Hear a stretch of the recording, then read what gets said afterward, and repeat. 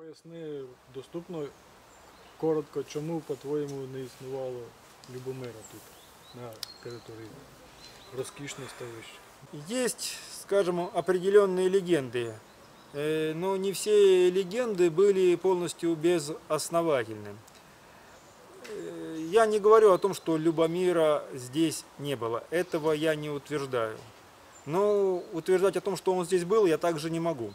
Более-менее широко про Любомир мы узнаем впервые у Лаврентия Пахилевича в его сказаниях э, о том, что было судебное дело, э, в котором ставищане ссылались, что они раньше, говорится, на другой стороне, на правой стороне Гнилого Тикича был город Любомир.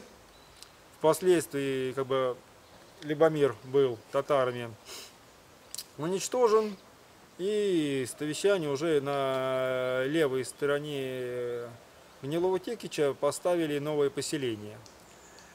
Но при этом э, некоторые документы того судебного дела сохранились. И в тех документах можно увидеть, что Любомир, Любомир как таковой, какой-то Любомир, а не конкретно который находился, может быть, здесь, существовал в 1644 году. И принадлежал он кому-то из князей Заславских. По всей видимости, если посмотреть историю, это был именно Доминик Заславский, так как э, род Заславских э, в 17 веке уже, к сожалению, угасал, у многих не было э, и заславских детей. Где-то были, говорится, не сыновья рождались, рождались, говорится, дочери, поэтому выходили замуж, была смена фамилии. В общем, род Заславских угасал, поэтому предполагать можно, что это был именно Доминик. Но в 1644 году однозначно понятно, что уже существовало ставище.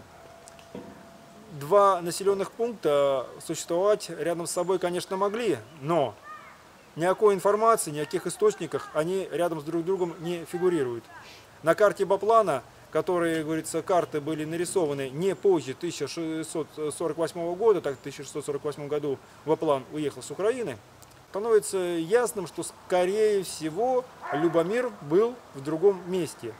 А если учесть, что я уже говорил, что ставище Белосошковского старосты было не одно, об этом мы видим из иллюстраций, было э, ставище, которое однозначно по документам видно, что существовало э, на реке Каменка, вот, э, не так уж э, далеко от Трелис, не так уж далеко от Мазепинец. Кстати, опять же, Мазепинц э, это было вотчина Мазепы.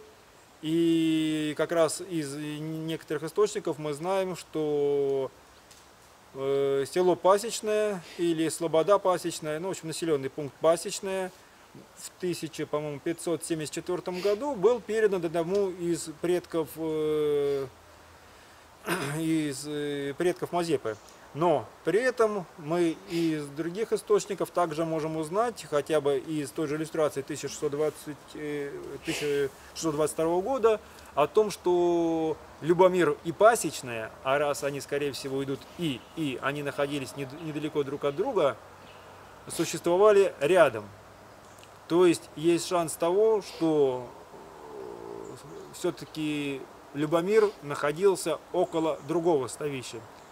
Э, К тому же надо не забывать, что в те же года, чуть дальше, было ставище, которое и на сегодняшний день существует, которое находится на трассе Житомир-Киев.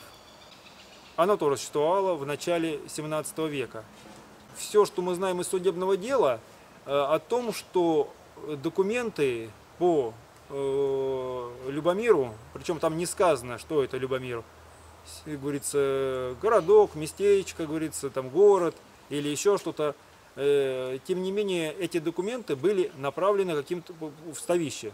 Но в какое ставище направлено, опять же, мы не знаем. Поэтому, мне кажется, совещане в свое время не совсем правильно выбрали тактику ведения судебного дела, пытаясь сослаться на документы на Любомир.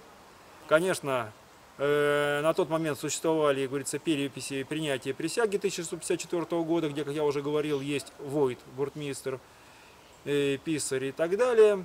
надо было Судились- ссылаться Судились вони за вільні права. Да, судились они за вольные права, и именно вот эти, я считаю, документы давали основание считать, что они были вольными людьми.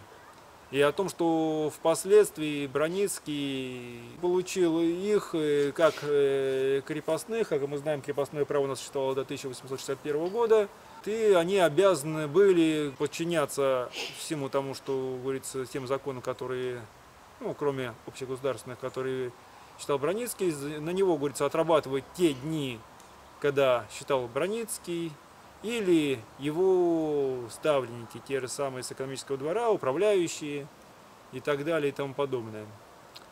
Поэтому не буду утверждать однозначно, был Любомир на этом месте или нет, но, по моему мнению, очень большие шансы, что его здесь не было.